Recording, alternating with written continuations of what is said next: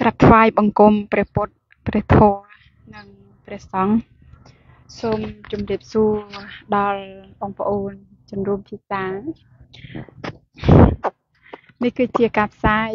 អឺពីកិច្ចព្រមព្រៀងស្តីពីដំណោះស្រាយនយោបាយរួមមួយនៃជំនួសកម្ពុជាពួកខ្ញុំគឺស្ថិតនៅវត្តកំពង់សេឡានៃខេត្តបាត់ដំបង នៅក្បែរពួកអកនេះបងប្អូនដែលបាន សម្រាកពីវគ្គបណ្ដុះបណ្ដាលពេញមួយថ្ងៃបឹបតែម្ដងថ្ងៃនេះហើយដល់បងប្អូនសំណេះសំណាលគ្នា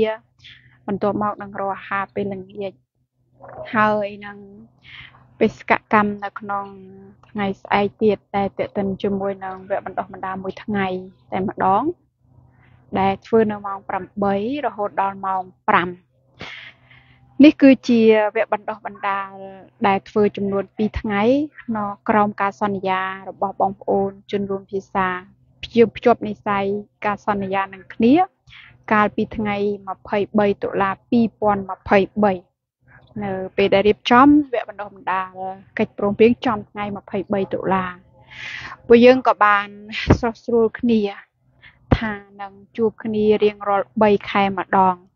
អញ្ចឹងគឺ3ខែបន្ទាប់ពីខែ10ហ្នឹងគឺត្រូវជាថ្ងៃ6ថ្ងៃ7ខែមករាឆ្នាំ2024និង3ខែក្រោយទៀតគឺត្រូវជាខែមេសាចាអញ្ចឹងអឺតេតិនជាមួយនឹងវគ្គបណ្ដុះបណ្ដាលរយៈពេលមួយថ្ងៃនេះចង់សួរតបងថាតើតេតិនជាមួយនឹងបច្ចេកទេសនៃការ បង្រៀនតើគិតថាបច្ចេកទេសណា ចំណុចណាដែលដែលល្អដែលអាចឲ្យបងប្អូនជនរួមភាសាយកទៅចែករំលែកជាបន្តហើយអារម្មណ៍ឬការឆ្លុះបញ្ចាំងហ្នឹងគិតថាតើវាបណ្ដុះបណ្ដាលមួយថ្ងៃនេះជាថ្ងៃទី1ហ្នឹងមានចំណុចល្អនិងចំណុចអីដែលជាឱកាសសម្រាប់ជាតិណាបងប្អូនបងហូសិន បង រី ទៅវិញ ឬនៅចូលរួមសម្ដែងមតិ រី នៅតា តែរីអត់និយាយកើតទេ តាមសម្រួល តាមសម្រួលបងប្អូន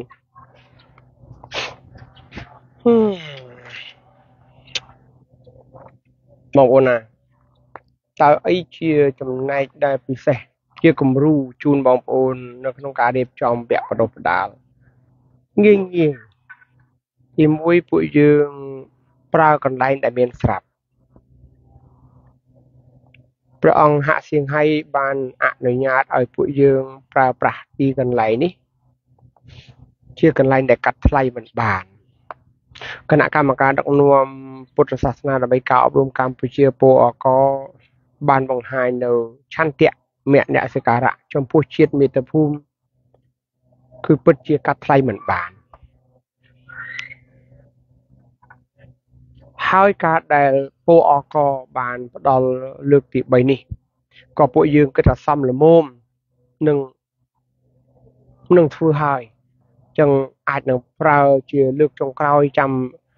យូរឆ្នាំទៀតចាំប្រើទៀតចាំពេលណា ដែលអាចថាប្រើបាននឹងប្រើទៀតប៉ុន្តែយើងចង់ដូរកន្លែងម្ដងលើកក្រោយក៏ប៉ុន្តែជាធនធានណាបងហុលលៀបបើឲ្យយើងទៅមានលុយទិញដីប្រពន្ធ ពោអកនេះគ្មានលុយទេបើយើងតុបតែងធ្វើរៀបចំក៏យើងគ្មានថវិកាទៅធ្វើផងប៉ុន្តែវាអត់តេតិននឹងដីវាតេតិននឹងទឹកចិត្តរបស់ព្រះអង្គហាក់សៀងហៃគណៈកម្មការដឹកនាំអង្គការពុទ្ធសាសនាដើម្បីការអប់រំកម្ពុជា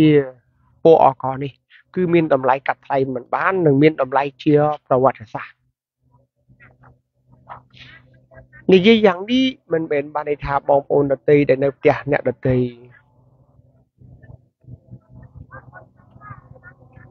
អាចសួរបងប្អូនសំទោសបងប្អូនអាចប្រាប់បងប្អូនទៅប្រាប់ថាកុំភ្លេចប្រគេនភេទជ្ជៈប្រគេនព្រះអង្គផងបើនិមន្តព្រះអង្គមកហើយបើអត់ទេឲ្យព្រះអង្គនិមន្តទៅវិញបានកុំឲ្យព្រះអង្គនៅទីនេះខាតពេលព្រះអង្គណាសួរបងរ៉ូម៉ាបងឌីម៉ង់ក៏បាន បងសនិទ្ធនូន បងសុតសា បងកវីលាក់មុខអូនដាលីឆោមទី2អ្វីដែលជនរួមភាសាអាចរៀនបានពីពួកខ្ញុំក្រៅអំពីការប្រើប្រាស់ធនធានជាកន្លែងដែលមានស្រាប់នៅខេត្តនីមួយៗមានផ្ទះអ្នកភូមិធ្វើផ្ទះអ្នកភូមិមានផ្ទះអ្នកស្រុកអ្នកខេត្តធ្វើតាមផ្ទះអ្នកស្រុកអ្នកខេត្តឥឡូវនេះគឺមាន ពោអកយើងប្រើអង្គការថ្ងៃក្រោយមានវត្តយើងប្រើវត្តចឹងនេះគឺជាចំណែកពិសេសដែលពួកយើងបានសម្រេចចិត្តថាធ្វើណាបងស្លូតអានាងទី2គឺពួកយើងអត់មានថវិកានៅក្នុងការធ្វើ ពួកយើងអត់មាន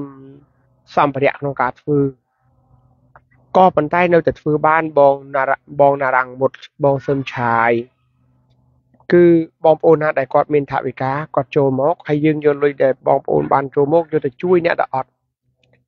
យើងប្រគេនព្រះអង្គព្រះអង្គដូចជាប្រហែលជា10អង្គដែរនិមន្តមកទាំងអស់ណាអញ្ចឹងអ្វីដែលពួកយើងបានយល់ថាគឺជាចំណែកដែលអាចជួយជាតិបាន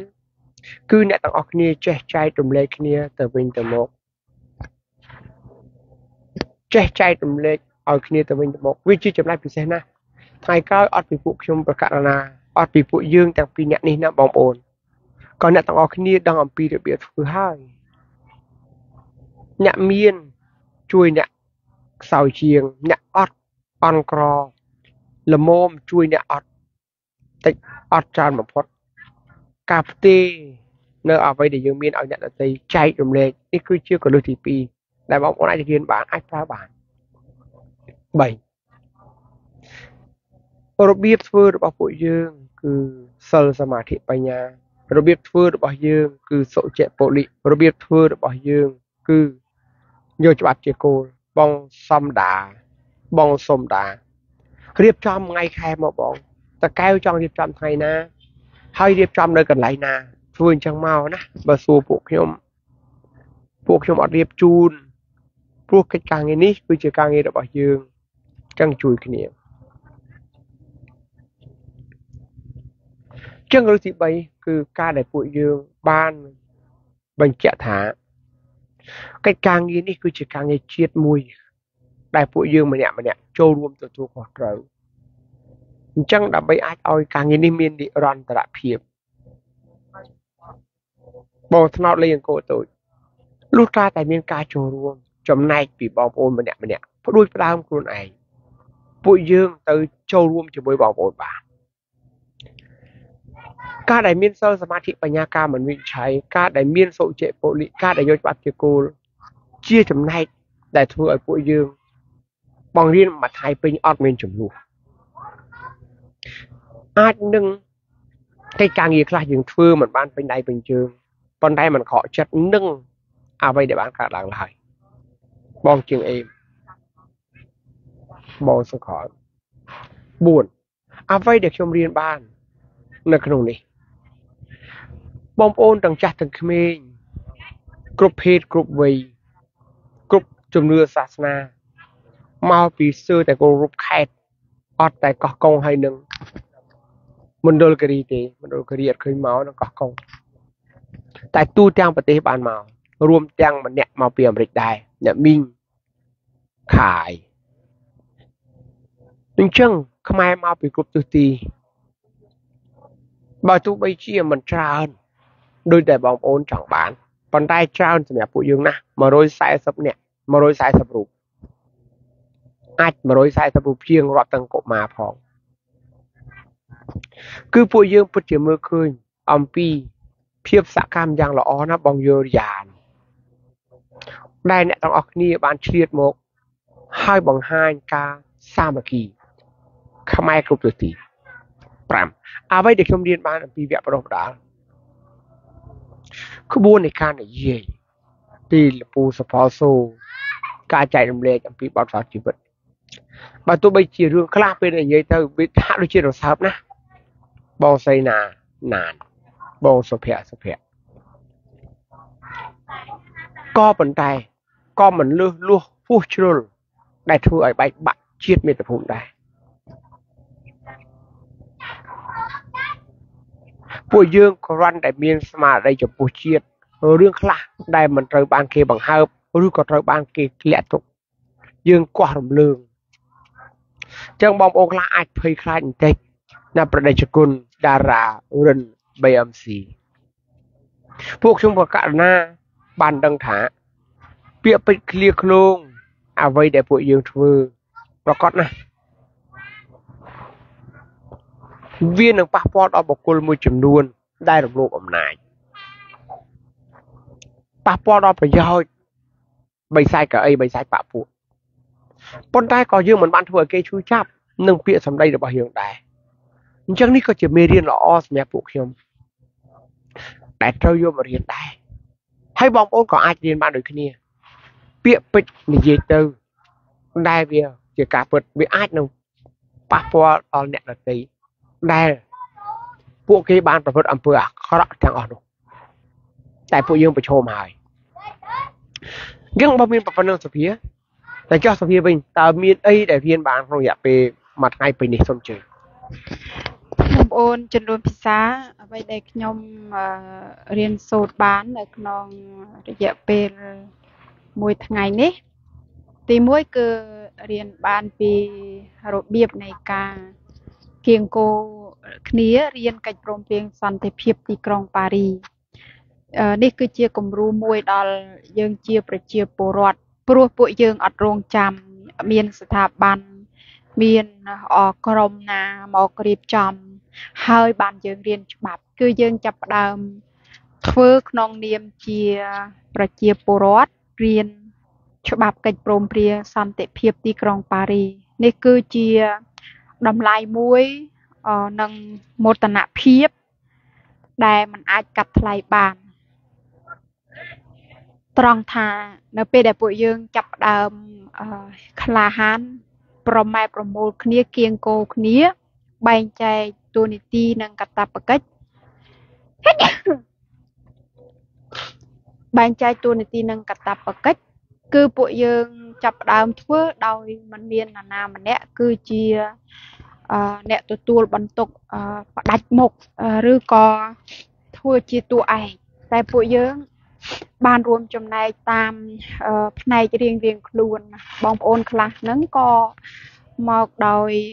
ប្រើប្រាស់មធ្យោបាយធ្វើដំណើររបស់ខ្លួនឯងបងប្អូនខ្លះក៏ចូលរួមដោយមាន ចំណីអាហារមកជាមួយ ចាបងប្អូនខ្លះក៏ចូលមកដោយមានជាសម្ភារៈផ្សេងផ្សេងនិងបងប្អូនខ្លះក៏ទទួលរ៉ាប់រងនៅចំណីអាហារទីកន្លែងនៃការស្នាក់ហើយនឹងចេះជួយគ្នាអញ្ចេះណាបងប្អូនអ្នកអាចមើលអឺរូបភាពបាន គឺជួយចេះជួយគ្នាសម្អាត ទីវត្តអារាមកន្លែងដែលពួកយើងស្នាក់នៅអញ្ចឹងពួកយើងអឺមកទីនេះមិនត្រឹមតែមិនចូលរួមបំផ្លាញ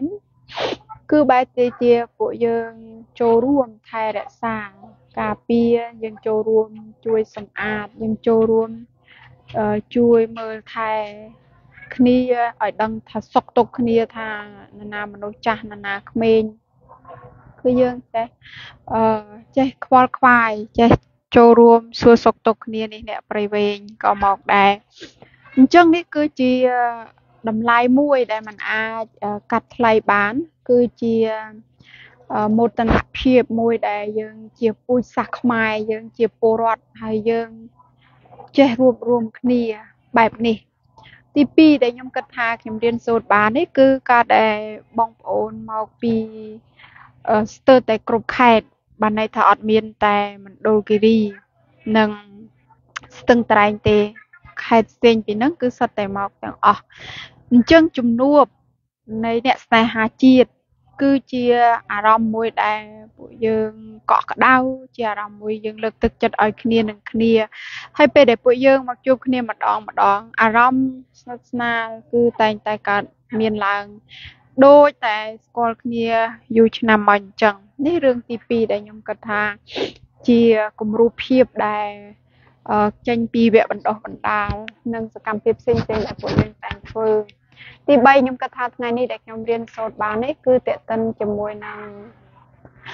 មួយថ្ងៃពួកយើងយ៉ាងហោចណាស់រៀនសូត្របាន4រឿងសំខាន់ រឿងទី1គឺការរៀនសិលសមាធិបញ្ញាការមិនវិនិច្ឆ័យព្រះពុទ្ធសាសនាព្រោះមានសិលសមាធិបញ្ញាការមិនវិនិច្ឆ័យនឹងហើយដែលធ្វើឲ្យពួកយើងមានផ្លូវចិត្តរឹងមាំការមានសិលសមាធិបញ្ញាការមិនវិនិច្ឆ័យនេះហើយដែលធ្វើឲ្យពួកយើងគឺមានកម្លាំងចិត្តនៅក្នុងការមកចូលរួម ពីព្រោះកាយរបស់យើងនឹងអាចដើរទៅបានគឺលោកតាតែយើងមានកម្លាំងចិត្តមកជាមួយកម្លាំងចិត្តហ្នឹងវាធំណាស់អញ្ចឹងការដែលពួកយើងជួបជុំគ្នានេះខ្ញុំគិតថារឿងទី1ដែលរៀនសូត្របាននេះគឺបច្ចេកទេសនៃប្រធានបទនៅក្នុងថ្ងៃនេះគឺទី1មានសិលសមាធិបញ្ញាការមិនវិនិច្ឆ័យមានទាំងព្រះអង្គហាក់សៀងហៃបានចូលរួមនៅក្នុងការ ដល់អវាទផងហើយនឹងមាននៅគោលការណ៍ដែលពួកយើងបានកំណត់ថាពួកយើងគឺកំណត់យកនៅគោលការណ៍សិលសមាធិបញ្ញាការមិនវិនិច្ឆ័យទី2គឺខ្ញុំគិតថាវិទតិនជាមួយនឹងប្រធានបទថ្ងៃនេះគឺការបង្ហាញអំពីបទពិសោធន៍ភាពក្លាហានរបស់បងប្អូនជនរួមភាសាក្រោយរៀនកិច្ចព្រមព្រៀងសន្តិភាពទីក្រុងទីក្រុងប៉ារីសអ្នកខ្លះគឺរៀន រយៈពេល5ខែអ្នកខ្លះគឺរៀនរយៈពេល1ឆ្នាំអ្នកខ្លះរៀនរយៈពេល2ឆ្នាំ គឺបានមកចែករំលែកនៅបទពិសោធន៍និងការវិវត្តការបំលែងខ្លួនអញ្ចឹងខ្ញុំគិតថាពួកយើងពើពិតជាមិនអស់សង្ឃឹមសោះ ផ្ទុយទៅវិញពួកយើងចាប់ផ្ដើមបណ្ដោះខ្លួនឯងតាមចំណែករៀងរៀងខ្លួនអ្នកខ្លះដោះខ្លួនឯងឲ្យពូកែនៅក្នុងការនិយាយចាប់យកគំនិតអ្នកខ្លះគឺដោះបណ្ដោះខ្លួនឯងឲ្យคล้ายទៅជាអ្នកចេះសម្របសម្រួលចេះគ្រប់គ្រងចេះសង្កេតចេះរៀបចំកម្មវិធីអញ្ចឹងនេះគឺជារឿងទី3បានន័យថាទី3ដែលខ្ញុំរៀនសូត្របានថ្ងៃនេះគឺទាក់ទិនជាមួយនឹងប្រធានបទនិងបច្ចេកទេសនៃការបង្រៀនគឺមាន អឺគំនិតរបស់បងប្អូនមកចូលរួមចែករំលែកហើយក៏ជាការចូលរួមពង្រឹងការនិយាយជាសាធារណៈពង្រឹងភាពជាម្ចាស់លើខ្លួនឯងនៅក្នុងការជួយជាតិអញ្ចឹងនេះគឺជាវិធីសាស្ត្រដែលនឹងមិនធ្វើក្អែបដាច់ក្បាលទី4ដែលខ្ញុំគិតថាជាបច្ចេកទេសនៃការបង្រៀនថ្ងៃនេះជាពិសេសគឺប្រធានបទគឺភ្ជាប់ប្រវត្តិសាស្ត្រ ជាមួយនឹងកិច្ចព្រមព្រៀងសន្តិភាពទីក្រុងប៉ារីជាងការដែលយើងមានប្រធានបទចម្រុះគ្នាយ៉ាងហោចណាស់4ប្រធានបទបែបនេះគឺនឹងអាចធ្វើឲ្យបងប្អូនណាមួយចូលចិត្តប្រធានបទណាមួយខ្លាំងគឺខំបន្តខ្លួនឯងទៅចំណែកហ្នឹងឧទាហរណ៍បងប្អូនខ្លះគឺចូលចិត្តប្រវត្តិសាស្ត្រចុះមិនន័យថាខំយកចិត្តទុកដាក់បន្តខ្លួនឯង សិក្សាឆ្វេងយល់ពីប្រវត្តិសាស្ត្រអញ្ចឹងខ្ញុំគិតថានេះគឺជារឿងទី3ដែលខ្ញុំរៀនសូត្របាននៅក្នុងថ្ងៃនេះហើយនិងរឿងទី4ដែលខ្ញុំគិតថារៀនសូត្របាននៅក្នុងថ្ងៃនេះគឺការដែលពួកយើងប្រើប្រាស់នៅធនធានដែលមានរួចជាស្រេចទី1ទីកន្លែងដែលមានរួចជាស្រេចទី2គឺអឺ សម្ភារៈក៏ដូចជាម្ហូបអាហារដែលបងប្អូនចាប់ដើមយកមកខ្លួនឯងជាម្ហូបអាហារដែលមានរួចជាស្រេចនឹងពួកបីមិនរៀនក៏បងប្អូនត្រូវតែហូបអញ្ចឹងបើយើង មកជុំគ្នាយើងចេះយកមកចែករំលែកគ្នានេះគឺជារឿងដែលគំរូភាពណាស់សម្រាប់ខ្មែរក្នុងការធ្វើសកម្មភាព ហើយនឹងចុងក្រោយដែលខ្ញុំគិតថាគំរូភាពនៃការដែលពួកយើងធ្វើនៅពេលដែលពួកយើងជាពលរដ្ឋជាអ្នកគោរពច្បាប់យើងមិនមែនជាអ្នកអនុវត្តច្បាប់ទេប៉ុន្តែយើងបែរទៅជាមានចិត្តមិនអឺតក់ក្រហល់មិនប្រចាំឬក៏មិនរងចាំមន្ត្រីមេដឹកនាំលុះត្រាតែអឺ មកបង្រៀនច្បាប់ដល់ពួកយើងចឹងជាចិត្តមួយទូលាយជាចិត្តមួយដែលពួកយើងត្រៀមរួចជាស្រេចថាពួកយើងចេះច្បាប់នេះមិនមែនយើងគឺជាក្រុមបដិវត្តជាក្រុមដួលរំលំអីទេគឺជាពលរដ្ឋម្នាក់ម្នាក់ដែលចង់ឲ្យជាតិសាសន៍មួយរឹងមាំដោយច្បាប់ ព្រោះបើច្បាប់អនុវត្តត្រឹមត្រូវតាមដំណើរការនីតិវិធីមន្ត្រីល្អក៏ត្រូវបានថែរក្សាការពារក្រុមគ្រួសារសាច់ញាតិរបស់មន្ត្រីល្អក៏ត្រូវបានថែរក្សាការពារឯមន្ត្រីអាក្រក់បើច្បាប់អនុវត្តមិនមែនយកទៅបហាជីវិតឯណាមិនមែនយកទៅកាប់សម្លាប់ធ្វើទរណកម្មឯណាពោះខ្មែរគឺរដ្ឋាភិបាលបានចុះស្ចាបានទៅលើច្បាប់មិនឲ្យមានការកាត់ទោសប្រហារជីវិតអញ្ចឹងការដែលពួកយើងរៀនច្បាប់ហ្នឹងសំបីតែជនដែលអាក្រក់ហ្នឹងក៏ ពួកគេនឹងមិនត្រូវទទួលរងនៅអំពើហិង្សានានាតែច្បាប់នឹងហើយដែលជាអ្នកដាក់ទោសកំណត់ទៅតាមទំហំស្ថានឬក៏ទំហំទោស ហើយក្រុមគ្រួសារសាច់ញាតិរបស់គាត់បើគាត់ជាមន្ត្រីអាក្រក់ក៏នឹងមិនត្រូវទទួលរងការលាបពណ៌ប្រមាថធ្វើទុកបុកម្នេញអញ្ចឹងខ្ញុំគិតថានេះគឺជារឿងចុងក្រោយដែលខ្ញុំរៀនសូត្របាននៅក្នុងថ្ងៃនេះហើយនឹងចុងក្រោយគឺលើកនេះគឺជាវិធីសាស្ត្រមួយទៀតដែលពួកយើងបានរៀបចំជាពិសេសទៅលើការស្នាក់នៅ ដែលពួកយើងមានកន្លែងនៃការស្នាក់នៅរហូតដល់4កន្លែងពីមុនពីមុនពួកយើងអត់មានដល់4កន្លែងបែបនេះទេប៉ុន្តែលើកនេះគឺយើងមានកន្លែងវត្តអារាមដូចបងប្អូនបានឃើញរូបនេះអញ្ចឹងពួកយើង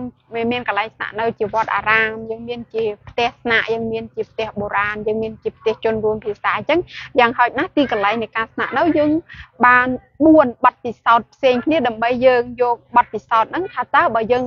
រៀបលើក្រោយទៀតបើមានមនុស្សច្រើនយ៉ាងហ្នឹងយើងគួររកកន្លែងណាអញ្ចឹងខ្ញុំគិតថានេះគឺជាបច្ចេកទេសថ្មីមួយដែរដែលពួកយើងបានរៀបចំសម្រាប់លើកនេះណាគឺតេតិនជាមួយនឹងរបៀបនៃការស្នាក់នៅរបៀបនៃការទទួលបងប្អូនមកពីទូទាំងប្រទេសហើយបាត់ដំបងគឺនឹងคล้ายទៅជាទីតាំងនឹងคล้ายទៅជាមជ្ឈមណ្ឌលកណ្ដាលសម្រាប់ស្វាគមន៍បងប្អូនមកពីទូទាំងប្រទេស បងប្អូនបងចែមសារ៉ាត់បងប្អូនជំនុំភាសាឥឡូវនឹងក្រុមកិច្ចព្រមព្រៀងប៉ារីកំពុងបោះវត្តវាជាគំរូល្អសម្រាប់បងប្អូនខ្មែរទូទៅហើយណាពេលព្រោះពួកយើងមកវត្តនេះគ្នាយើងប្រហែលជាខ្ទង់100រូបជាង130 140រូបហើយឥឡូវនេះគឺជួយប្រមូលសម្រាមហើយព្រះអង្គបានឃើញពួកយើងកំពុងប្រមូលសម្រាមឥឡូវចាក់ ព្រះអង្គបានយកអំបោសយកចប់យកអីមកឲ្យពួកយើងដើម្បីធ្វើទៀតអញ្ចឹងព្រះអង្គក៏មានប្រតិរីករាយហើយតែព្រះអង្គបានមើលឃើញសកម្មភាពអ្នកទាំងឡាយដែលជាអ្នកក្រុមកិច្ចព្រមព្រៀងគឺមិនបោះបង់នៅអនាម័យនៅក្នុងជុំវិញវត្តនេះហើយក៏បានចូលរួមធ្វើការដើរ សិក្សាជួយយល់ជុំវិញវត្តទៀតអញ្ចឹងពួកយើងមកនេះមករៀនណាមិនមែនត្រឹមតែមករៀនមិនមែនតែរៀនកិច្ចព្រមព្រៀងប៉ារីសទេវាគឺមករៀនគ្រប់ណាស់គំរូអ្នករបស់អ្នកធ្វើហើយអញ្ចឹងបងប្អូននេះគឺជាចំណែកដែរដែលចំណែកនេះគឺជាចំណែកដ៏មានសច្ចធម៌និងមានគុណធម៌ពួកយើងសម្អាតវត្តមិនមែនដើម្បីតែពួកយើងស្នាក់នៅឯណាគឺយើងសម្អាតវត្តព្រោះតែយើងចង់ជួយ ជាចំណែកដល់ព្រះសង្ឃដល់គណៈកម្មការដឹកនាំវត្តដែរណាណាណាទាំងយាយទាំងតាទាំងទាំងបងទាំងប្អូនណាមកទាំងអស់គ្នាតោះឥឡូវទៅវាពួកយើងមិនធ្វើដល់ចាប់2ម៉ោងទេដោយសារតែពួកយើងមួយថ្ងៃពេញនេះគឺពេញហើយចឹងសូមធ្វើតែ1ម៉ោងបានហើយដើម្បីបាន នៅពេលល្ងាចនេះមានជួបជុំគ្នាទៅជែកគ្នាចោះបញ្ចាំងទៀតអញ្ចឹងពួកខ្ញុំចង់មានពេលវេលានៅជាមួយបងប្អូនដល់ដទៃទៀតនៅកំឡុងពេលនេះពីរថ្ងៃរយៈពេលនឹងតិចណាស់សម្រាប់ការឆ្លាញ់ជាតិបងប្អូនសម្រាប់ការឆ្លាញ់ជាតិគឺពេលវេលាពីរថ្ងៃនឹងតិចណាស់ហើយមួយយ៉ាងអ្នកដែលមកនឹងគឺមកពីទូទាំងប្រទេសទៅទៀតអញ្ចឹងបើទូទាំងប្រទេសបើកាលណាពួកយើងធ្វើកិច្ចការងារនេះ មិនបានល្អទេស្អែកយើងអត់បានផលល្អទេស្អែកគឺនិយាយពីផែនការតើខេត្តនីមួយៗគេមានផែនការអីហើយដល់ពេលខេត្តនីមួយៗមានផែនការអីហើយពួកខ្ញុំនឹងចុះតាមខេត្តនីមួយៗដើម្បីទៅចូលរួមជួយការងាររបស់ពួកគាត់អញ្ចឹងយើងចង់ឲ្យខេត្តនីមួយៗអួតតើខេត្តនីមួយៗមានការអីសម្រាប់ខេត្តដែលទៅមុនយើងក៏ត្រូវថ្ងៃនេះព្រោះមានអ្នកដែលទៅមុនដូចជាទីក្រុងភ្នំពេញជាពិសេសលោកពូហ៊ុនគីមហើយនិងលោកអ៊ំជាសមេតាក៏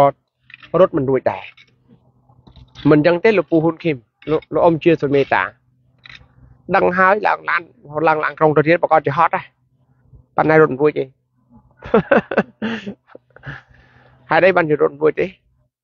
គ្រាន់តែពួកខ្ញុំត្រូវបានគេវាយនៅឯប្រទេសថៃសោះក៏លោកអ៊ំជាសមេតាចង់ហោះចង់ជិះយន្តហោះទៅតែម្ដងដើម្បីទៅអញ្ចឹងរត់មិនរួចកាយទៅទៅហើយតែចិត្តនៅទីនេះ អញ្ចឹងណោះខ្ញុំខ្ញុំខ្ញុំនិយាយប៉ុណ្ណឹងត្រូវហើយណោះពីព្រោះខ្ញុំយល់ថាអ្នកទាំងអស់គ្នាមានអាយុវ័យកាន់តែចាស់ហើយ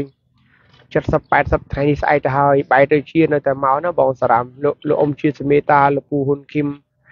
លោកពូសផលសូឃើញចាស់ចាស់មកលើឃើញលោកពូផានមកពីបាត់ដំបងបើកឡានបើកអីមកគ្នាគាត់3 4នាក់សិតតែចាស់ចាស់ដែរសិតតែគណៈកម្មការវត្ត មកខ្ញុំខ្ញុំសម្រាប់ខ្ញុំគឺពេលដែលខ្ញុំឃើញចាស់ចាស់ដែលមានមនោសញ្ចេតនាចំពោះជាតិយ៉ាងនេះណាអាភាពកក់ក្ដៅនឹងពេញកម្លាំងបេះដូងរបស់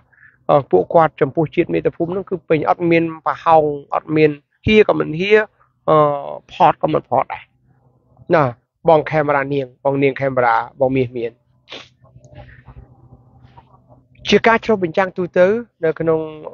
សកម្មភាពកន្លងមកសភាអ្វីដែលពួកយើងចង់ជូនជាគំនិតជាយោបល់ជូនបងប្អូនជនរួមភាសាថាតើ1335 1335ថ្ងៃដែលពួកយើងបានធ្វើនេះ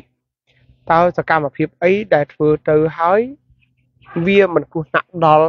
ជីវិតអ្នកធ្វើមិនគ្រោះថ្នាក់ដល់ខ្លួនឯងហើយបានជួយដល់ជាតិវាមិនមែនដើម្បីឲ្យយើងរួចគ្រោះថ្នាក់ហើយអត់ដល់ប្រយោជន៍ជាតិទេអត់ទេ នេះយើងធ្វើនៅតែធ្វើអត់គ្រោះថ្នាក់ដល់យើងហើយហើយជួយជាតិបានទៀតធ្វើអី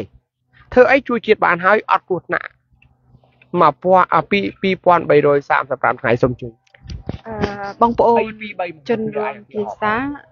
ខ្ញុំគិតថាទី1ដែលជាសកម្មភាពដែលពួកយើងអាចជួយជាតិហើយអឺ សវត្ថភាពទាំងពួកយើងសវត្ថភាពដល់ជាតិបានន័យថាបានប្រយោជន៍ដល់ជាតិគឺសកម្មភាពនៃការរៀនច្បាប់ សកម្មភាពនៃការរៀនច្បាប់គឺវាអត់បានគ្រោះថ្នាក់ទេតែសកម្មភាពនៃការទៅរំលោភអ្នកដតីឆក់ប្លន់ដុតផ្ទះគេលួចទ្រព្យសម្បត្តិគេប្រមាថ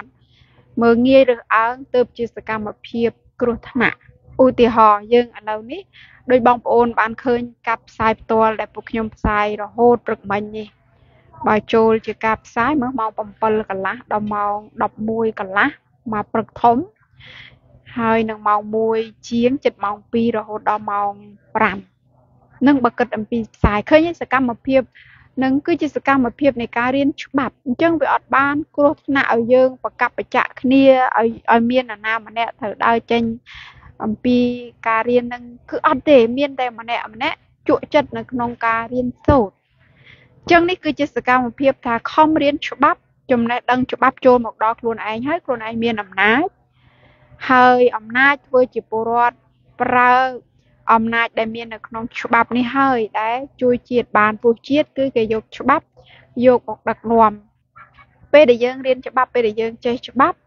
ពេលដែល ជួបមន្ត្រី និងមេដឹកនាំនយោបាយក៏យើងនិយាយភាសាច្បាប់យើងនិយាយតែពីក្រមសីលធម៌វិជ្ជាជីវៈហើយមន្ត្រីនិងមេដឹកនាំស្នេហាជាតិហ្នឹងគឺរត់តែត្រេកអរជាមួយនឹងអ្វីដែលពួកយើងធ្វើអញ្ចឹងវាគឺជាសកម្មភាពដែលសុវត្ថិភាពខ្លួនឯងហើយនឹងសុវត្ថិភាពជាតិបានប្រយោជន៍ដល់ជាតិពីព្រោះខ្មែរបញ្ជាក់ បញ្ជាក់ដូនតាខ្មែរអ្នកស្នេហាជាតិវីរៈជនវរៈជនខ្មែរបានបញ្ជាក់ហើយបញ្ជាក់ទៀតឲ្យកូនខ្មែរចាំថាចង់ការពីជាតិឲ្យរឹងមាំគឺខ្មែរត្រូវតែចេះច្បាប់មិនមែនធ្វើសង្គ្រាមទេមិនមែនប្រើអំពើហិង្សាមិនមែនបង្កើតជាក្រុមបកពួកមិនមែនបង្កើតជាអបគមទេ គឺខ្មែរត្រូវតែរៀនច្បាប់ ខ្មែរត្រូវតែមានចំណេះដឹងច្បាប់ ទី2ដែលខ្ញុំគិតថា តើធ្វើសកម្មភាពអ្វីដែលជាសកម្មភាពសុវត្ថិភាព ហើយអាចជួយដល់អ្នកដទៃបាន គឺសកម្មភាពនៃការដែលពួកយើងចេះដឹងថាម្នាក់ម្នាក់មានធនធាន គឺមានលទ្ធភាពមានសមត្ថភាពអ្វីហើយចូលរួមចែករំលែកនៅលទ្ធភាពនិងសមត្ថភាពនឹងទៅជាសកម្មភាពដែលសវត្ថភាពហើយអាចជួយជាតិបានឥឡូវដូចដែលពួកយើងមកទីនេះ មកទីនេះអញ្ចឹងបើយើងនិយាយអំពីសកម្មភាពនេះជាសកម្មភាពនៃការតបស្នងសងគុណដល់ចៅអធិការដល់ទីតាំងវត្តអារាម ដែលជាទីតាំងមួយដែលបានផ្ដល់កន្លែងស្នាក់នៅដល់ពួកយើងជាអ្នករៀនច្បាប់ពួកយើងតបទៅវិញដោយការមកទីនេះគឺនឹងមិនមកចូលរួមបំផ្លាញបានន័យថា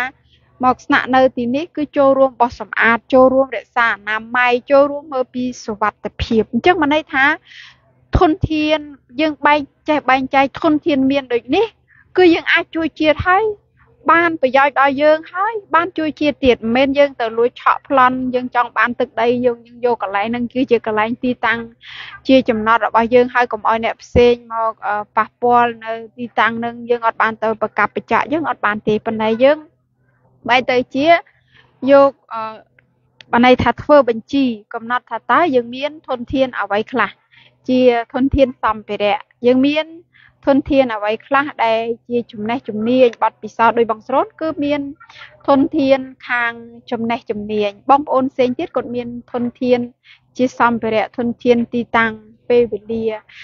អញ្ចឹងមិនន័យថាពេលដែលយើងចាប់ផ្ដើមធ្វើបញ្ជីមួយ កំណត់ថានរណាមានលទ្ធភាពមានសមត្ថភាព មានធនធានអ្វីគឺការដែលពួកយើងធ្វើសកម្មភាពចេញពីមួយទៅដល់មួយមួយទៅដល់មួយគឺវាអត់ចេះរីងស្ងួតទេបើយើងប្រើភាសានៃការធ្វើសង្គ្រាមយោធាគេហៅថាគឺបាញ់មិនចេះអស់គ្រាប់ អញ្ចឹងនេះគឺជាសកម្មភាពដែលខ្ញុំគិតថាសុវត្ថិភាព បានដល់ខ្លួនឯងហើយបានជួយដល់ជាតិគឺការដែលយើងចេះបែងចែកនៅធនធាន គឺលទ្ធភាព និងសមត្ថភាពបានតែចំណេះជំនាញសម្ភារៈហើយនៅគោលការណ៍នានាដែលពួកយើងបែងចែកគ្នា សកម្មភាពទី3ដែលខ្ញុំគិតថាគឺជាសកម្មភាពដែលសុវត្ថិភាព ជាសកម្មភាពដែលអាចជួយជាតិបាន គឺ សកម្មភាពនេះយើងមើលដូចជាអត់ឃើញវាចេញជារូបជារាងទេពួកវាកប់នៅក្នុងគំនិតរបស់យើងច្រើនជាងគឺសិលសមាធិបញ្ញាការមិនវិនិច្ឆ័យពួកយើងមក100រូបជាងបើសិនបើយើងអត់មានសិលសមាធិបញ្ញាការមិនវិនិច្ឆ័យទេ មានតែម្នាក់ខឹងមានតែម្នាក់ជេរប្រមាថផ្ទុះកំហឹងពេញនោះកំឋានឡើយជួបគ្នាដល់100នាក់អីជួបគ្នាត្រឹមតែ10នាក់ហ្នឹងក៏ អាចត្រូវបានគេចោទថា គឺជាក្រុមបះបោរឬក៏ជាក្រុមប្រឆាំងអញ្ចឹងសកម្មភាពនៃការដែលរាល់ការជួបជុំរាល់ការធ្វើសកម្មភាពមិនថាតែសរសេរនៅក្នុង Facebook ធ្វើវីដេអូនានាដែលបងប្អូនធ្វើគឺធ្វើរឿងជាតិហើយត្រូវតែប្រកាន់ខ្ជាប់សិលសមាធិបញ្ញាការមិនវិនិច្ឆ័យទៅនេះសុវត្ថិភាពដល់ជាតិហើយ គឺនឹងคล้ายទៅជាគំរូភាពដល់អ្នកចំនួនក្រោយអញ្ចឹងខ្ញុំគិតថានេះគឺជារឿងទី3រឿងទី4គឺការដែលយើងត្រូវធ្វើសកម្មភាពទៅមានក្បួនសុចៈពលិទៅយើងមិនចាញ់បោកជនដែលពូកែនៅក្នុងការនិយាយធ្វើឲ្យយើងពិរោះជនដែលមានរូបរាងស្អាតបាតធ្វើឲ្យភ្នែករបស់យើងលងលើយតែបើយើងមានសុចៈពលិគឺរាល់ការស្ដាប់រាល់ការ មើលឃើញរឿងជាតិយើងនឹងមិនចាញ់បោកជនប្រជាពិធទេបើទោះបីជាគេពូកែនិយាយប៉ុន្តែបើអ្នកនិយាយមិនមែនរឿងជាតិផងមិនមែននិយាយរឿងច្បាប់ផងនិយាយថានិយាយប្រវត្តិសាស្ត្រប៉ុន្តែនិយាយដោយការជេរបញ្ចោប្រមាថលៀបពណ៌បែងចែកក្រុមបពពួកមកខាងមកខាងមានអីដែលយើងអាចយកចំណេះនឹងយកមកជួយជាតិបានគាត់និយាយហ្នឹង ហើយយើងជាអ្នកស្ដាប់ឯនេះគឺដូចតែយើងគ្រប់គ្រងការជេរប្រមាថអញ្ចឹងអញ្ចឹងក្បួនទី4ដែលខ្ញុំគិតថាជាសកម្មភាពដែលសវត្ថភាពដល់យើងហើយអាចជួយជាតិបានហ្នឹងគឺសកម្មភាពដែលយើងប្រើក្បួនដូនតាខ្មែរបានបន្សល់គឺក្បួនសុជិពលិក្បួននេះគឺមើលអត់ទាន់សូវឃើញជាសកម្មភាពកើតចេញជាគំនិតច្រើនជាងប៉ុន្តែគឺជាសកម្មភាព គឺជាសញ្ញាបញ្ជាក់មួយថាសវត្ថភាពដល់ខ្លួនឯងហើយយើងអាចជួយជាតិបាន បងប្អូនថ្ងៃនេះគឺពួកខ្ញុំផ្សាយតែ1ម៉ោងទេដោយសារតែផ្សាយបងប្អូនជូនបងប្អូននឹងអស់មួយថ្ងៃពេញហើយចឹងបងប្អូនខ្លះក៏តាមដានក៏ប្រឹងប្រែងរៀនរៀនដល់តែមែនតែនហើយចុងថ្ងៃហ្នឹងក៏ចង់ចែករំលែកនៅចំណែកថាក្នុងរយៈពេល2335ថ្ងៃនេះខ្ញុំសូមជូនរបស់3យ៉ាងឲ្យបងប្អូនកើតជាក្តីសង្ឃឹមលពូខ្ញុំជាខ្មែរបងឈៀងរតជា 1កិច្ចព្រមព្រៀងសន្តិភាពទីក្រុងប៉ារីនេះគឺត្រូវបាននិយាយគ្រប់ទិសទីហើយអាស៊ីសេរី VOA វត្ថុបារាំង ABC អូស្ត្រាលីអ្នកកាសែតនានាវាយោក៏បានចុះផ្សាយបញ្ឈប់បញ្ឈរអំពីកិច្ចព្រមព្រៀងប៉ារីប្រទេសថៃចុះកិច្ចព្រមព្រៀងប៉ារីទៀតហើយអាញាធរថៃតម្រួតថៃចុះផ្សាយកិច្ចព្រមព្រៀងប៉ារីហើយ បើទោះបីជាប៉ូលីសដែលបានតាក់ទងមួយសភាឥឡូវនេះគឺបាន unfriend unfriend សភាហើយលែងមើលសារកុំបារម្ភទោះបីគេ block យើងចោលក៏ដោយក៏យើងត្រូវឲ្យបងស៊ើបខលទៅដែរព្រោះគេមិនបានមិនអាចបំបត្តិការតាក់ទងរបស់យើងបានទេលោកកំពុងតែលេងលបែងបើលោកកុំលេងលបែងរឿងនឹងវាចប់យូរហើយ តែលោកប្រើលបែងលោកប្រើល្បិចអញ្ចឹងពួកយើងក៏កំដរលោកលេងដោយមិនប្រមាថដោយក្តីមេត្តាករុណាមុទិតាឧបេក្ខា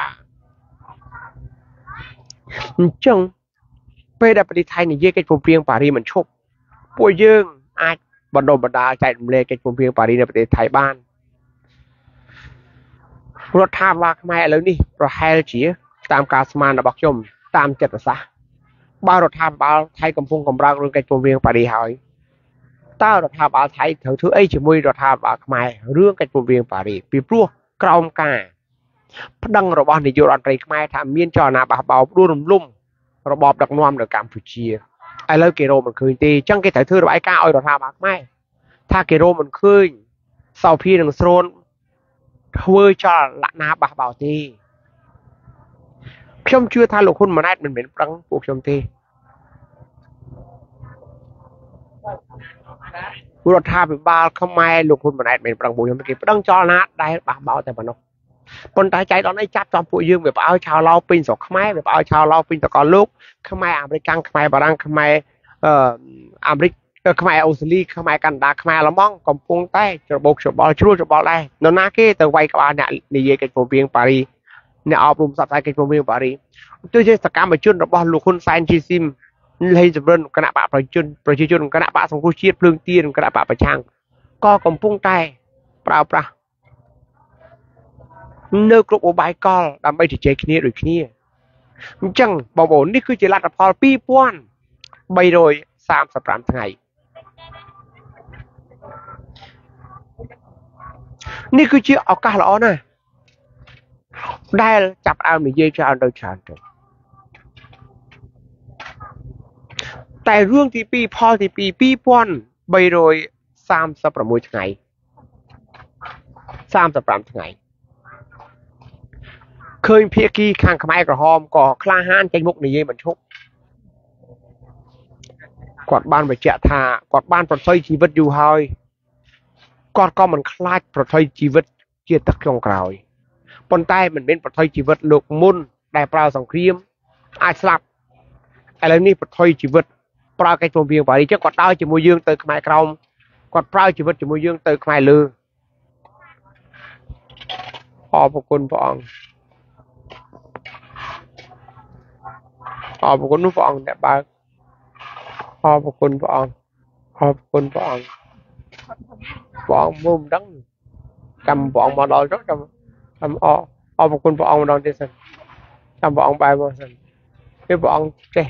ខាងពួកខ្ញុំកណាពងឹតអរគុណព្រះអង្គទៅផ្ទះព្រះអង្គសិនណាឃើញដល់ពេលព្រះអង្គយកទៅបង្ហោះទៅឃើញហើយព្រះអង្គពេលថតព្រះអង្គអត់មើលយើងនិយាយតែព្រះអង្គចង់ទៅសើថាអ្នករសើអ្នកមកជួយណា បងប្អូនក៏ជាការចម្លែកដែរមានសុភាខ្ញុំគិតថារឿងនេះជារឿងចម្លែកជារឿងវត្តសាស្ត្រដែរដែលពេលដែលពួកយើងទៅវត្តណាបែរទៅជាយើងមកសម្អាតវត្តនឹងហើយព្រះអង្គអង្គុយស្គាល់ថាមិនក៏អ្នកទាំងអស់នេះមកដល់ដៃមិនមិនមិននៅស្ងៀមហើយដល់ហើយព្រះអង្គសួរទៀតមិញសួរបងសានសិតដើរកាត់ក្រោយយើងនេះថាមកមករៀនអីថាមករៀនច្បាប់ហើយមករៀនច្បាប់នឹងរៀនយោបាយមែនបងលឺសូពាក្យនឹងទៀតអញ្ចឹងណា អញ្ចឹងព្រះអង្គថាអើយទៅអ្នករៀនយោបាយស្អីក៏មករវល់មកពីមករៀនយ៉ាងហើយអត់មានហត់អញ្ចឹងអត់ធ្វើខ្លួនឯងជាភ្ញៀវសោះធម្មតាបើភ្ញៀវមកដល់កន្លែងហ្នឹងគឺអត់មានទេមែនអត់មកដល់គេដឹងតែដេកគេដឹងតែអង្គុយគេដឹងតែហើយចុះភ្ញៀវអីក៏ចម្លែកម្លេះបងប្អូនអ្នកខាច់ពូរៀវប៉ារីឥឡូវអ្នកទាំងអស់គ្នាបើមិនទៅសើមិញបានមកមើលនេះខ្ញុំឲ្យមើលម្ដងទៀតណាខ្ញុំឲ្យដឹកឲ្យបងប្អូនមើលតិចបងប្អូន ណាបន្តិចខ្ញុំមកវិញឥឡូវហើយកុំបារម្ភបងសុភីរតនគិរីមកពីរតនគិរីអ្នកគួសៀងហៃតែប្រទេសមានទេបងដាតូចអ្នកបាត់ដំបងអាប្អូនមើលបុកសិន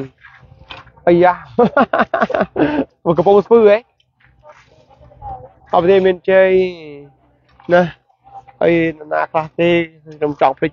ឈ្មោះអស់ហើយបងប្អូនណាគឺនៅពេញហ្នឹងណាតែទាំងកន្លែងព្រះទាំងកន្លែងមិនមានព្រះទាំងកន្លែងសួន គឺធ្វើព្រាតទាំងអស់បងម៉ាក់រសាកំពុងឆ្នាំងនេះបងស្រីអ្នកអ្នកកំពុងចាមនៅភ្នំពេញបងមគ្គរក្សាកំពុងឆ្នាំងអ្នកម្ដាយមើមើមួនអឺនៅលពូលពូហើយនឹងបងណាមកណាបងប្អូនអញ្ចឹងនេះអឺ ហើយអ្នកណាដែលគេគេអង្គុយនោះគេធ្វើវីដេអូខ្លីដើម្បីទុកជាអនុស្សាវរីយ៍ណានេះអពុននេះក៏រវល់ដែរណា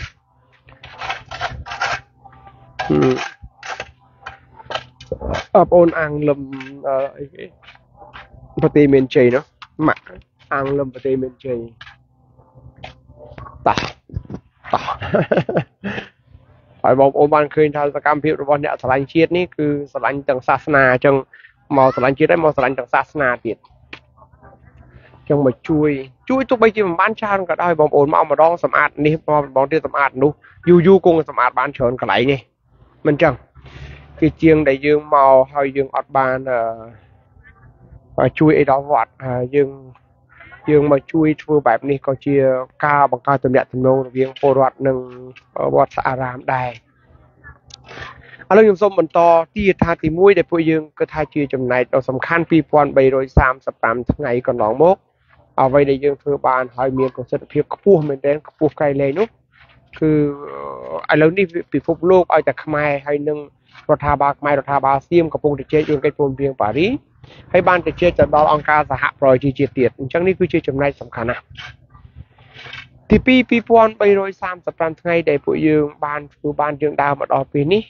គឺចំនួនអ្នកដែលសកម្មនៅក្នុងខេត្តនីមួយៗអត់ទៅជាង20 20រូបទេសកម្មអត់ទៅជាងបានន័យថាវាតិចបំផុតប៉ុណ្ណឹងគឺច្រើនជាងនឹងពីព្រោះគាត់យើងសាក់លបងត្រឹមតែខេត្តបាត់ដំបងមួយអ្នកសកម្មរហូតដល់ជិត100ទៅហើយជិត100រូបទៅហើយសកម្មណាស់ស្ទើរតែគ្រប់ស្រុកណាស្ទើរតែថេគ្រប់ស្រុកហើយបើសិនបើយើងគិតមើលអ្នកមកពីខេត្តឆ្ងាយឆ្ងាយអ្នកខ្លះមកខេត្តមក10អ្នកខ្លះមកខេត្តមក5អីឆ្ងាយណា ហើយនៅរដ្ឋនគិរីនឹងមកពីដែរណាកពតបានមួយកែបបានមួយណាក៏ប៉ុន្តែមួយនេះគឺមួយដែលពេលដែលយើងទៅរៀននៅកពតអ្នកមិនមួយនឹងឯងដែលធ្វើឲ្យមានការប្រជុំនៅកពតបានអ្នកកែបមានម្នាក់នឹងឯងប៉ុន្តែទៅដល់យើងអាចឲ្យគាត់អាចគៀងគោមនុស្សនៅក្នុងកែបបានព្រោះយើងកាលទៅរៀននៅកែបមនុស្សជិត20នាក់ដែរ20រូបដែរពូពូដល់ផ្ទះដែរណាអញ្ចឹងនេះគឺជាចំណុចនេះគឺជាចំណុចទី2 បាទថាអ្វីដែលពួកយើងកំពុងធ្វើការបណ្ដុះបណ្ដាលរបស់ពួកយើងរយៈពេល2335ថ្ងៃនេះពិតជាបានផលហើយហើយផលនេះមិនមែនផលកើតចេញមកពីពួកខ្ញុំទាំងពីរចាត់ទុកថាពួកយើងរួមចំណែកប៉ុន្តែមិនមែនដោយសារពួកយើងអ្នកបង្កើតទេគឺផលមកពីខ្មែរស្នេហាជាតិមកពីអ្នកមានជាងហ៊ុនស្នេហាជាតិមកពីលពូសភោសូស្នេហាជាតិមកពីបងហ៊ុនឃីមលពូហ៊ុនឃីមស្នេហាជាតិ មកពីបងម៉ាក់សាណាបងម៉ាក់រក្សាកំពង់ឆ្នាំងបងចិនសធានីបងទីមសាវេតបងលីដាទុំបងខៀងហុងលោកពូម៉ារីជួនបងប្អូនដែលខ្ញុំមិនបានរៀបរាប់ចាំឈ្មោះទាំងអស់បងស្រាមបងលូនអ្នកមីងយូអូនយូអេងអ្នកមីងណារីអ្នកមីងទីពងមកពីអ្នកទាំងអស់គ្នាស្រឡាញ់ជាតិហើយដល់ពេលអ្នកទាំងអស់គ្នាស្រឡាញ់ជាតិយើងយកចំណៃជាតិយកទៅដាក់រឿងអីបងប្អូនមិនសប្បាយចិត្តនឹងទទួលអ្នកទាំងអស់គ្នាស្រឡាញ់ជាតិឥឡូវដូចបងប្អូនចិនដាអញ្ចឹង បាត់មុខអស់3 4ខែដោយសារតែការស្រឡាញ់ជាតិក៏ខំប្រឹងរខិរខារត់ចេញមកពឹងតាំងពីត្បូងឃុំកំពុងព្រីវែងមកតាមអូរាំងឪមកដប់ទាំងកូនតូចមកជាមួយ បងដរិនបងឯកដរិនយកទាំងកូនមកជាមួយទោះបីកូនឈឺបងសៀបសែនរងនឹងប្រពន្ធយកកូនមកជាមួយ កូនក្រៅខ្លួនក៏ដោយហើយនឹង ប្អូនស្រីម្នាក់ដែលមានប្តីនៅជប៉ុនហើយយកម្ដាយចាស់មកជាមួយបងសុផាណាប្អូនស្រីសុផាណាប្អូនស្រីសុផាណាដឹកម្ដាយក្មេកដែលមានជំងឺជាប់កាយហើយមករៀនជាមួយយើងរហូតដល់ចប់ហើយប្តីរបស់គេនៅជប៉ុនខ្ញុំភ្លេចឈ្មោះហើយប្រាប់ឈ្មោះខ្ញុំយុគមីងមកពីប្តីពេលស្ដាប់មិនព្រមសរសេរ Facebook ទេលោកប្តីនៅជប៉ុន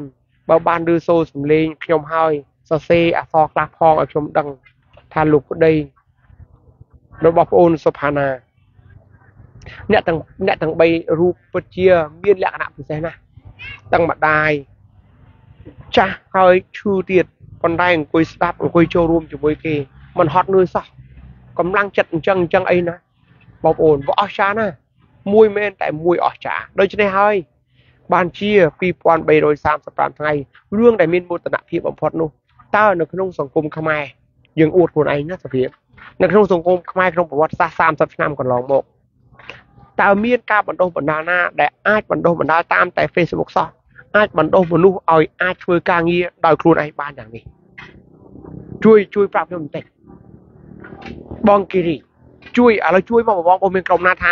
គឺបង្រៀនតែតាមការ Facebook Live ទេបែរទៅជាកើតបានទៅជាមនុស្សសកម្មដែលអាចធ្វើការងារដោយខ្លួនឯងបាន បងរាជឆ្លាញ់អូនបើថាគ្រូបង្រៀនទៅបង្រៀននៅសាលាមែនទេទើបកូនសិស្សចេះកខកខងងតាំងពីថ្នាក់ទី1ដល់ទី12បើថាមន្ត្រីរាជការត្រូវវឹកហាត់សិនដើម្បីទៅជាមន្ត្រីគ្រូបង្រៀនមន្ត្រីកសកម្មមន្ត្រីវិនិច្ឆ័យកម្មត្រូវវឹកហាត់ត្រូវរៀនចប់សាកលវិទ្យាល័យត្រូវរៀនចប់បណ្ឌិតអនុបណ្ឌិតទើបអាចទៅបម្រើការងារជំនាញទាំងអស់នោះបានបើនិយាយពីអង្គការសង្គមវិលក៏គេត្រូវបង្រៀនបណ្ដុះបណ្ដាល TOT trainer trainer គឺគ្រូបង្គោលឲ្យតាមផ្ទាល់ទើបអាចគេ ឲ្យមនុស្សទាំងអស់នោះធ្វើបានឥឡូវនេះប៊ុនពេងអូអាបងប៊ុនបេងបងប៊ុនបេងទៅសេកត់ទុកឲ្យសុភាអាបងប៊ុនបេងប្រពន្ធរបស់បងនិងម្ដាយម្ដាយបង្កើតរបស់បង បានបញ្ញាអារម្មណ៍ពួកយើងហើយពញ្ញុចស្មារតីពីព្រោះពួកគាត់បានមក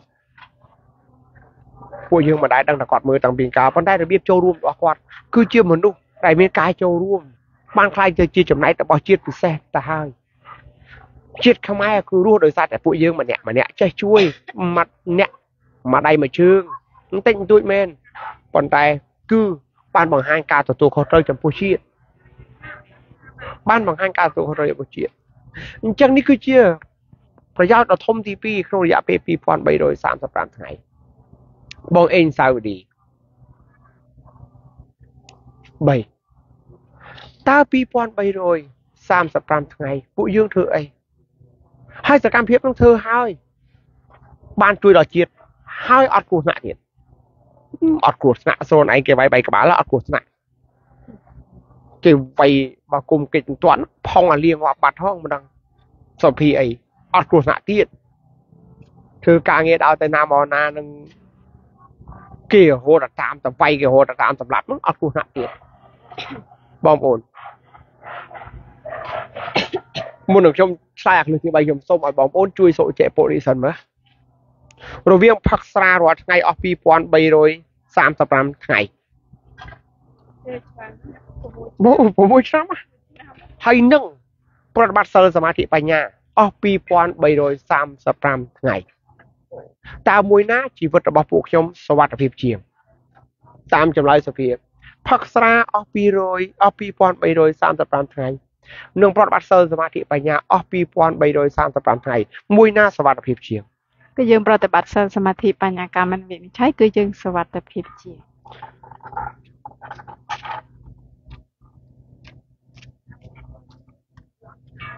ជាបញ្ចោមេដឹកនាំខ្លួនឯង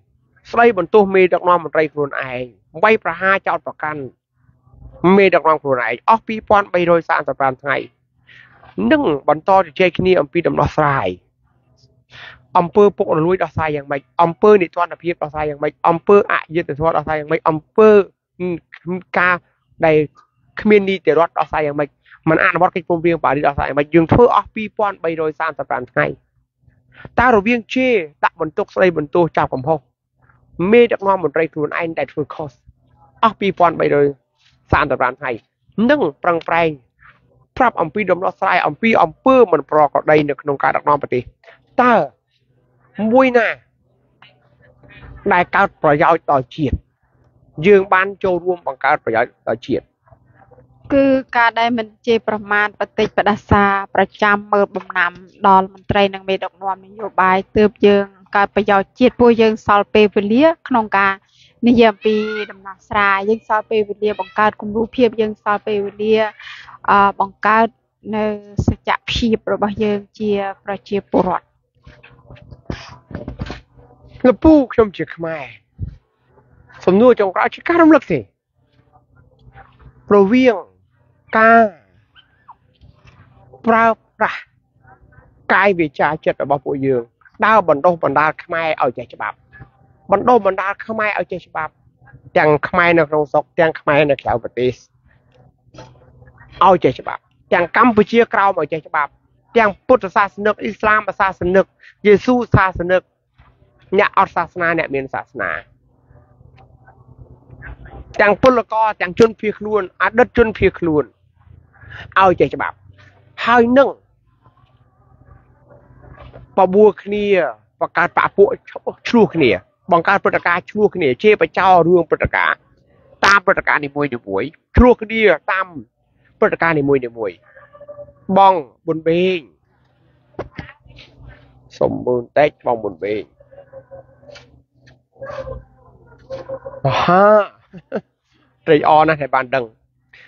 អំបញ្ញមិញកំពុងសរសើរតែប្រពន្ធនឹងម៉ែទេឥឡូវនឹងបានប្តីថាចឹងទៀតចឹងសរសើរប្តី ដែរទៅចោះកុំឲ្យថាសរសើរតែប្រពន្ធគេទៅសរសើរតែម៉ែបង្កើតគេភ្លេចសរសើរប្តីប៉ុន្តែទោះបីជាបងប៊ុនមេងមិនប៊ុនបេងមិនទាន់ថាក៏ដោយគាត់នឹងខ្ញុំលឺសូប្រពន្ធថាប្តីបានប្រាប់ថាឲ្យមកជំរុញលើកទឹកចិត្តឲ្យប្រពន្ធនឹងម្ដាយមកនោះគឺបងប៊ុនបេងបានធ្វើការសម្រេចចិត្តមួយដល់ជាតិបាត់ទៅហើយមិនមែនដើម្បីមកជួបពួកខ្ញុំ គឺដើម្បីបណ្ដុះ ប្រពន្ធឲ្យក្លាហានបណ្ដុះម្ដាយនិងប្រពន្ធឲ្យចូលរួមជាចំណែកតូចឬក៏ធំក្តីឲ្យអស់លទ្ធភាពសមត្ថភាពរបស់ខ្លួននេះគឺជារឿងអស្ចារ្យណាស់វាជារឿងសំខាន់ណាស់ទទួលយកពាក្យរបស់ពួកខ្ញុំមិនមែនសរសើរដើម្បីលើកដំកើងឲ្យបងប៊ុនបេងសប្បាយទេ តែជាទឹកចិត្តស្មោះសរដែលបងប៊ុនបេងបានធ្វើឲ្យផលវាពិតជាបានមែនគឺបងបានចូលរួមជាចំណែករបស់ជាតិ ឲ្យខ្មែរជួបនឹងខ្មែរចឹងបងប្អូនឥឡូវនិយាយអំពី2335ថ្ងៃនៃកលឹះទី3ដែលបងចង់បញ្ជាក់ចុងក្រោយនោះសុភា2335ថ្ងៃកន្លងមកនេះពួកខ្ញុំទាំងពីរនាក់នេះត្រូវបានចាត់ទុកថាជាបុគ្គលសាធារណៈតំណាងឲ្យកិច្ចព្រមព្រៀងសន្តិភាពទីក្រុងប៉ារីសំទោសណាស់ និយាយអញ្ចឹងខែលោថាពួកខ្ញុំកំពុងទាំងពីរកំពុងអួតមិនទេមិនអញ្ចឹងទេ តែបើឲ្យបងប្អូនដឹង ថាពួកខ្ញុំទាំងពីរនេះមិនមែនជាមនុស្សល្បីព្រោះពួកខ្ញុំទាំងពីរស្អាតសង្ហាបវរកញ្ញាហើយនឹង fresh boy ទេប៉ុន្តែពេលដែលតម្រួតថៃចាប់គេថាពួកយើងពួកកិច្ចព្រមព្រៀងប៉ារី ពេលដែលអាញាធរតកែវនឹងក៏ចេះខាត់ខ្លួនគេថាពួកយើងជាពួកកិច្ចព្រមព្រៀងប៉ារី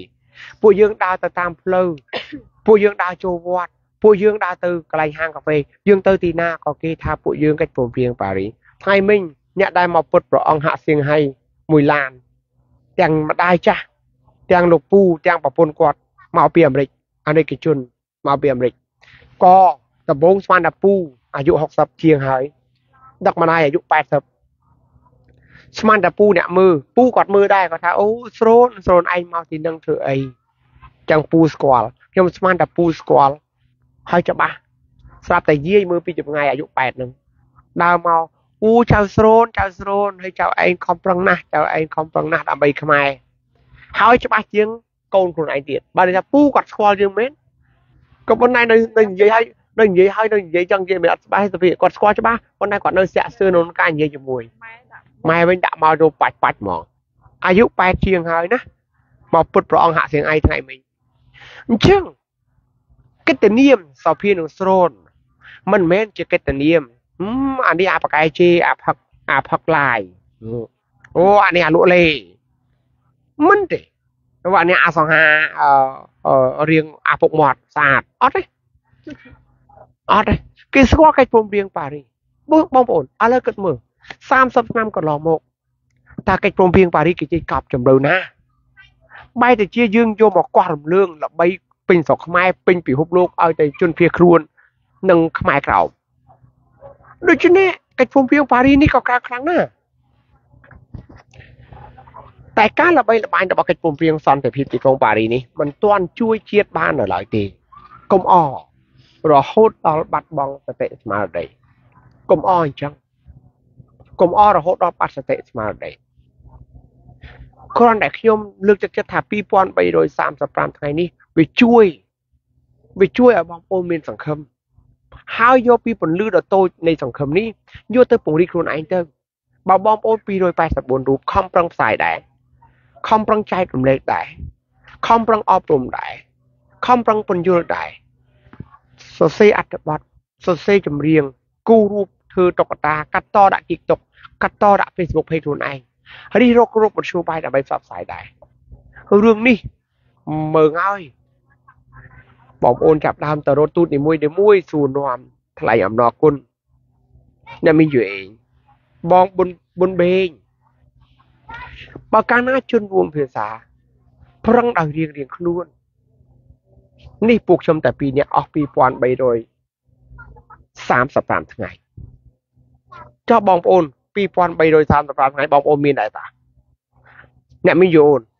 បើអាយុរាប់ដល់ពេលនេះបានហើយសួរថាអ្នកមីងមាន2335ថ្ងៃជាមួយពួកខ្ញុំអត់សុភាយល់សំណួរបង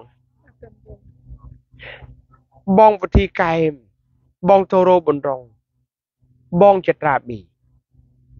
ពួកយើងបានដើរពី6ឆ្នាំមុនរហូតដល់ពេលនេះតើអ្នកទាំងអស់គ្នាមាន6ឆ្នាំមុនដែរអត់ពួកគាត់មានអត់មានទាំងអស់គ្នា មានមាន6ឆ្នាំមុន6ឆ្នាំមុនរហូតដល់ឥឡូវយើងធ្វើបាន ផល3ជាកលឹះប៉ុណ្នេះចោះបង្កើតនឹងបងរេនរេនតាំងរស្មីខំប្រឹងធ្វើពី6ឆ្នាំមុនដែរមកនេះកុំស្ដាយណាខ្ញុំនិយាយចឹងដើម្បីលើកទឹកចិត្តឲ្យបងប្អូនថាចោះបើបងប្អូនយកពីឥឡូវយកធ្វើទៅ6ឆ្នាំក្រោយវិញយក2335ថ្ងៃទៀតហ៎មិនឃើញ 4700មក2700ថ្ងៃ2700ថ្ងៃបូកចូលគ្នា4700ថ្ងៃចុះបើខ្ញុំទាំងពីរនាក់2000 335ថ្ងៃធ្វើឲ្យមនុស្សខ្មែរនិយាយគ្នាពេញផែនដីអំពីកិច្ចព្រមព្រៀងប៉ារីបានចាប់បើយើងម្នាក់ម្នាក់293រូបនេះធ្វើម្នាក់រៀងៗខ្លួនតើរឿងនេះទៅជាយ៉ាងណា កុំរងចាំគេជួយជាតិទាំងអ្នកមិនជួយជាតិឲ្យសោះអ្នកថាអ្នកដល់មានបណ្ឌិតអញ្ចឹងបានដឹកនាំប្រទេសបាន អ្នកគួរតែថាខ្ញុំជាចំណែកនៃប្រទេសបណ្ឌិតក៏ជាចំណែករបស់ប្រទេសតែគេមានគំនិតបណ្ឌិតគេជួយជាតិបានច្រើនជាងខ្ញុំប៉ុន្តែខ្ញុំមិនមែនបណ្ឌិតក៏ហើយក៏ខ្ញុំបានខ្លាយទៅជាចំណែករបស់ជាតិអានេះបានមិនត្រឹមត្រូវអានេះវាបានល្អបងរក្សាដាដាបងពុតថែម អីប្រទេសជាតិរបស់ខ្ញុំនេះរីកចម្រើនដោយសារតែមេដឹកនាំនេះអត់ទេមេដឹកនាំនេះធ្វើឲ្យជាតិរីកចម្រើន តែខ្ញុំក៏បានចូលរួមធ្វើឲ្យជាតិរីកចម្រើនដូចថ្ងៃនេះបងប្អូនមកបោះវត្តអញ្ចឹងវត្តនេះមិនមែនដល់តែយកអត់ទៅមកបោះទៅស្អាតស្អាតទេវាត្រូវការយើងជាពលរដ្ឋម្នាក់ម្នាក់ជួយសម្អាតវត្តមិនចឹងទេបងសូសម្បត្តិបងមកផលិតជនរួមភាសា ថ្ងៃនេះដោយសារពួកយើងឡាយអស់មួយថ្ងៃពេញតែហ្មងអញ្ចឹងក៏ការផ្សាយគឺគិតថាសម្រាប់ទៅម៉ោង6កន្លះណាសូភីប៉ុណ្ណឹងបងប្អូននៅក្នុងការផ្សាយថ្ងៃនេះ មានចម្រៀងមួយបទជូនបងប្អូននឹងបានមើលបងប្អូនជនរួមភាសាចូលបោះសម្បត្តិវត្តនៅទីនេះចោះជាការបង្ហាញដល់បងប្អូនដែលនឹករលឹកប្រទេសជាតិរបស់ខ្លួនឯង ក៏ជាការភ្ជាប់និស្ស័យដល់បងប្អូនដែលមិនបានចេញមកផ្ទាល់ប៉ុន្តែចិត្តរបស់បងប្អូន គឺបានមកជាមួយនឹងពួកយើង100រូបជាងដែរជួបគ្នាសម្រាប់អ្នកដែលអញ្ជើញមកស្អែកវាបណ្ដុះបណ្ដាលកិច្ចព្រមព្រៀងសន្តិភាពទីក្រុងប៉ារីថ្ងៃស្អែកហ្នឹងគឺនៅពូអកដដែល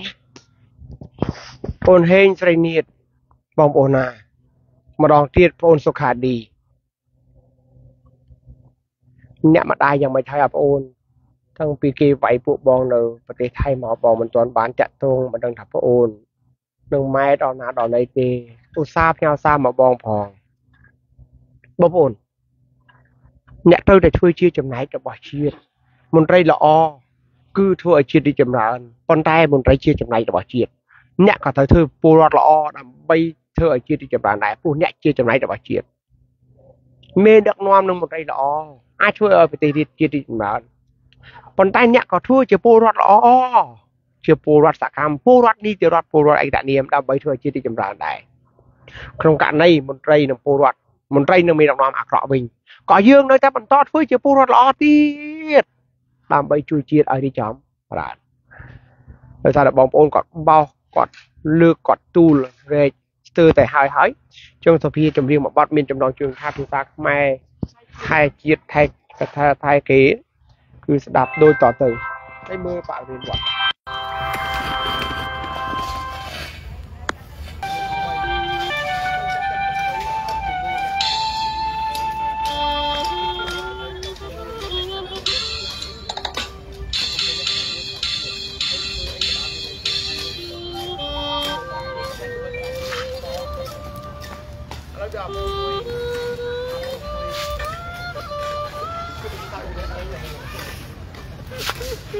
ជំរាបលាតាជំរាបលាហ្មង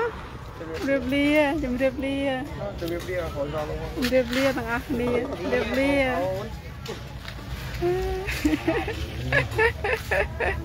ជំរាបលា